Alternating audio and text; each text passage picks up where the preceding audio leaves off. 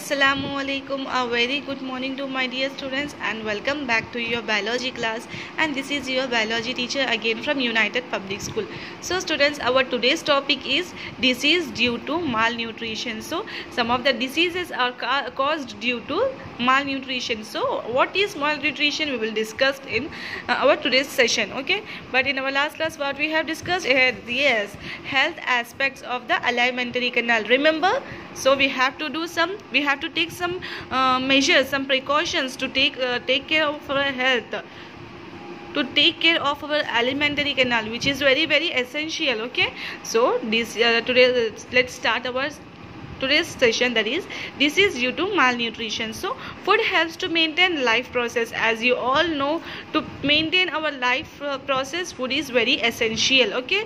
Our diet should be balanced one which contain proper amount of carbohydrate proteins fats and mineral salts and fats okay vitamins also. So to maintain our balanced to maintain our diet balanced our food should be contained with carbohydrates proteins vitamins mineral salts and fats. All this uh, should be present in our diet and two-third of the world population is affected due to related diseases because only two-third in the sense 2 by 3 so in our whole world they are 2 by 3 of the whole population. This 2 by 3 of the whole population is suffering with this food related diseases in the sense food deficiency some uh, proteins fats or some deficiency of that minerals uh, are uh, there. So in by that the uh, population is suffering with these diseases the food related diseases.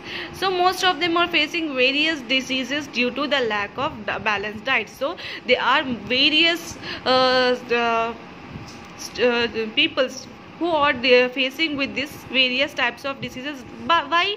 Because due to the lack of balanced diet lack in the sense the loss of enough getting food to our body.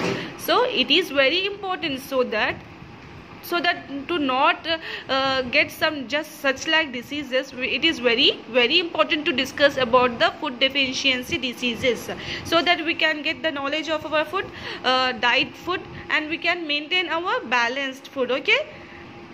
Here eating of food that does not have one or more than one nutrition one nutrients in the required amount is known as malnutrition. So what is malnutrition actually? The eating of food the food which we consume that does not have one or more than one nutrients which which our body is required. So if that which our body requires the nutrients nutrients right? So that food does not have in our diet then then we will get some problems some disease diseases due to the lack of food. So that is nothing but malnutrition. So due to malnutrition we get some diseases. What are they? We will discuss later okay here poor health welf poor health in the sense तबीयत ठीक नहीं रहना and welf willful starvation in the sense deficiency in caloric energies calories.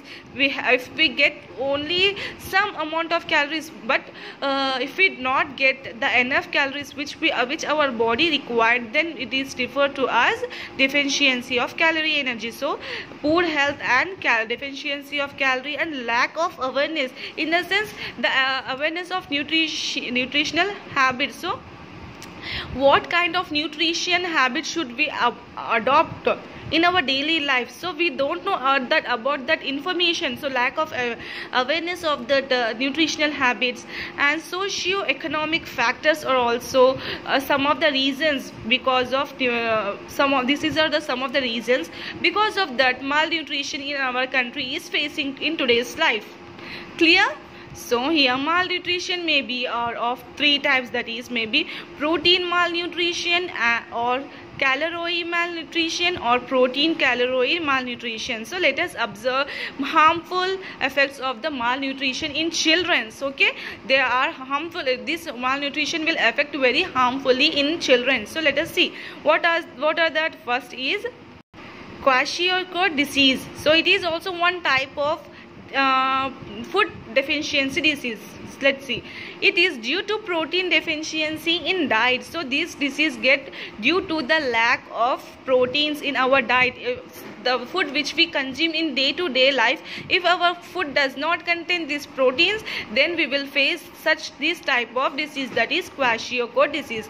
Body parts. So what happen when this disease gets the body parts become swell due to accumulation of water in the intercellular spaces where the accumulation of water taking place. In intercellular spaces what are the inter intercellular spaces in the sense? The cells the in our body we have cells right? So in between cells there are spaces which is called intercellular spaces. In that spaces the water will be accumulated. The water will be so, accumulated in the sense the water वहाँ पे जमा हो जाता so by that the part of that body will get swollen up as you can see in this picture this is kwashiorkor disease these children facing that disease and in that a, a particular part of the body will get swollen up here this uh, children uh, stomach is swollen up because of this kwashiorkor disease okay so only one body part is getting swollen off uh, other part is normal like hands and her face is normal right right so very poor muscles development. So by this disease what uh, the symptoms you will face? Very poor muscles development. So muscles are very poor. Swollen legs also uh, happen. And fluffy face fluffy uh, face is become and it is difficult to eat something. In eating it will very difficult. And diarrhea in the sense loss of water okay? When you get motions like that that is diarrhea. That is nothing but diarrhea. And dry skins are also the some of the symptoms of these diseases. So so the symptoms are poor muscles development, swollen legs and fluffy space which is uh, difficult difficulty in eating something. And diarrhea, dry skins are these are the some of the okay symptoms of these diseases right? Yeah let us uh, see next that is marasmus okay? Marasmus. So it is also a type of malnutrition.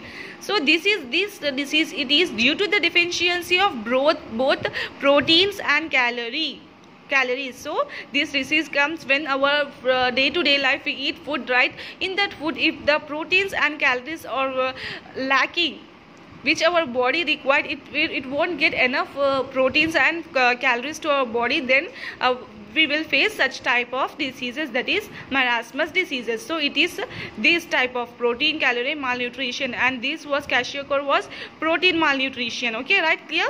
So generally these diseases occur when there is an inter in, in immediate second pregnancy or repeated childbirth. So when the uh, when these children faces these uh, diseases when the mother is uh, like in uh, in immediate second pregnancy if after giving first birth first birth to the children after immediately uh, mother get an another pregnancy repeating after that only repeating in the sense after that if we get if we give another childbirth then that's uh, such type such children also get this type of diseases that is marasmus diseases. So that children's what they face? They face some disease, uh, symptoms that is weak or well developed muscles dry skin diarrhea etc so that children will be very weak as you can see in this picture. This uh, child is very weak as you can see. Is it has a less muscles. He is very flat okay? He's well he's has having less muscles and the skin of these children will be dry and diarrhea some of the disease uh, symptoms they will face in these diseases right? And next we have and another disease that is obesity. So this is uh, next disease uh, due to malnutrition and another disease is facing to to the children that is obesity okay so what happened in obesity? Apart from the deficiency, diseases mentioned about the constant intake of high calorific food may lead to the condition of this disease that is obesity. So what happened in obesity? It is different from the kwashiorkor and marasmus. In marasmus and kwashiorkor, there is lack of malnutrition. But in obesity, when the child take intake, it takes very high calorific food, which means if they uh, eat more food with that food uh, more food and that food is contain so much calories then the children will face this type of diseases. So this type of disease will will come when the child take more intake of calorific food okay? So what happen in this condition? In this condition a person gains extra fat and become overweighted as you can see in this picture.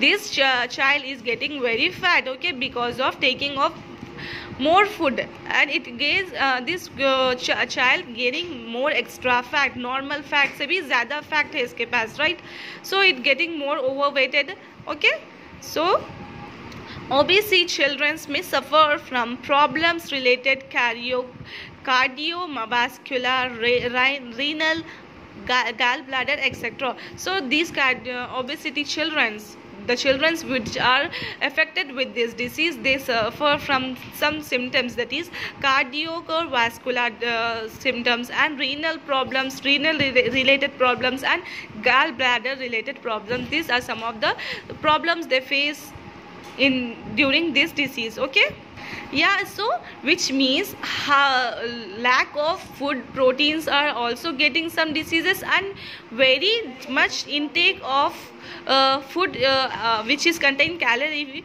calories. So large uh, large amount of food intake is also getting a diseases. So we have to balance our diet. We have to balance it. We have to take and limited food which contain limited uh, carbohydrate proteins fats vitamins and okay mineral salts so i suggest you children to take to balance your diet balancedly. You, you have to follow the health aspects or to to maintain our body healthy you have to follow some of the health aspect and uh, you have to maintain students. If not you will uh, going to face such type of diseases which is kwashiorkor diseases or marasmus diseases and obesity diseases. With these diseases come due to the malnutrition. If we get uh, if we won't get enough food to our body then also we will face this uh, with some problems. If we take very much of the food to the body which is overweighted uh, to our body then also we will get some diseases. Okay right so in our later class we will discuss about vitamins deficiency diseases. Okay students? So students in your textbook page number 19 you have a vitamin table with, uh, about vitamins. This is also very essential. You have to write from you as your homework you have to write from over here to here. This is your homework of today's class students. Take a clear screenshot and write your homework and submit in your groups okay? Thank you students. Have a nice day